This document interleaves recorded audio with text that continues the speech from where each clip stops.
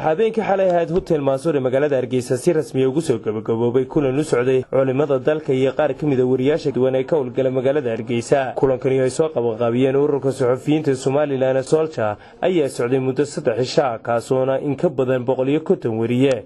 Ay ka soo qayb galeen islamarkaasina ujeedadiisa ay daarnayd sidii loogu kobcin lahaa korna loogu soo qaadi lahaa culumta kala duwan ee diinta islaamka ee suuban. Islamarkaana halkaasi su'aalo dowra iyo dood cilmiyaadba lagu soo qabtay intii ay socotay munaasabadani waxaana sidoo kale halkaasi su'aale lagu weydiiyey wariyaasha kala duwan ee ka soo qayb galay tobabarkani socday muddada saddexda cisho ah waxaana halkaasi lagu siiyey abaalmarimo kala duwan. Wariyaashii kaalmaha sarsare ka galay su'aalahaasi lagu weydiinayay madasha dhexdeeda waxaana hadaladii mas'uuliyiintaasi ka mid ahaa.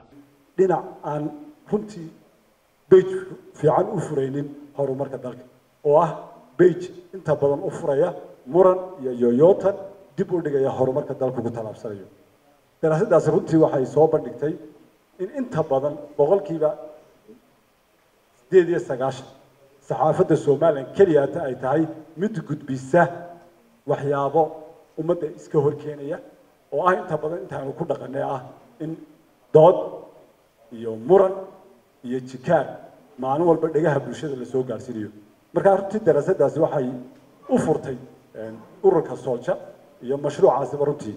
In saxaafadda lagu tababaro sidii ay horumarka dalka uga qayb qaadan lahayd sagaashan suxufi baa runtii ka qayb qaatay tababarkaasi.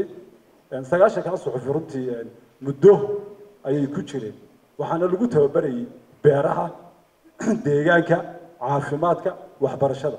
Runtiina waa waxyaabaha asaasiga ah ee haddii ay saxaafaddu culayska saarto halka ay siyaasadda ka saarayso runtii horumarka dalka qayb muhiima ka qaadan lahaa horta anigu shaksiyan sidaan u arkayo saxaafadda waxaan u kala qaadayaa laba qaybood.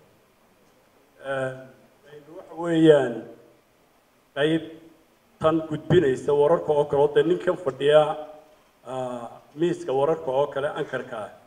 Waxa weeyaan wixii u yimi unbuu isagu sheegayaayo markaa taasu isagu waxa weeyaan warkii u yimi unbuu markaa ummadda isagu u gudbinaya.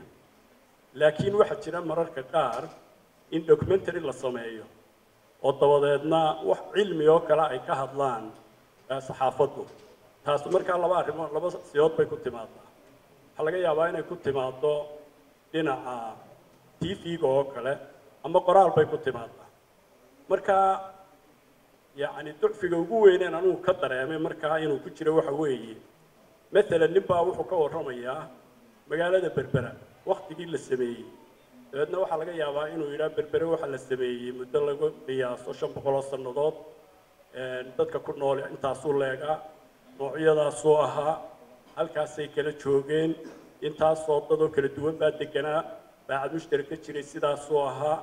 Maanta oo dhan baa laga yaaba iyo warkan la sheegayo ee la leeyahay berbere waqtigaasi hebel baa xukumayey en soorsigeedii dhabta ahayd aan la qaadanaynin maxaa noogu wacan inaan horta xaqiiqda ogaana ma jirta horta bulshadeenna markaan dib ugu noqono bulsho qoraaleed ma ahayn.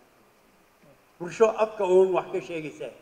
Waxaana la isku tabinayey af marnaba qoraal la iskuma tabinaynin taasi ayaa keentay arrinta. Ila xog ogaala sababo gaara bay leedahay. Marka aad doonaysid laba arrimood way noqon karaysaa. Markaad qarinaysid qofkii way noqon karaysaa. Laakiin waxa badanaa loo isticmaalaa. Marka la doonayo in war la tabiyo la doonayo qofkii la liqsiiyo. Isla mar ahaantaana xog dhab ah ama meel aad ka qaadatay aanay jirin ayaa markaasaa loo isticmaala waa gabbood yar oo marmarka qaarkood la isticmaalo laakiinse waa qalad. Taas waa taa. Midda kale waxa weeyaan research iyo data yaalla oo la ururiyey ma jiraan. Waa runtii professorka waa ku raacsana in arrimaha la doonayo inay saxaafaddu ay horumariso weliba dhalinyartiinani hor joogta maanta. Waad naga nasiib badantihi lish maanta xogtiisi yaroo hawliqraana ayaad u heli karaysay intiinana soo gasha iyo inta kale ee laga xogsa la waraysan doonaana. Waa idinka iyo cumar shaafi telefishinka caalamiga badda cas 24 t v magaalada hargeysa